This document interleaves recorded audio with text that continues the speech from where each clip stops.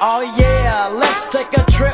Just sit back and light a spliff with this and don't slip on a funky dope track. Jump back, strapped with a fat Buddha sack and a 7-8 black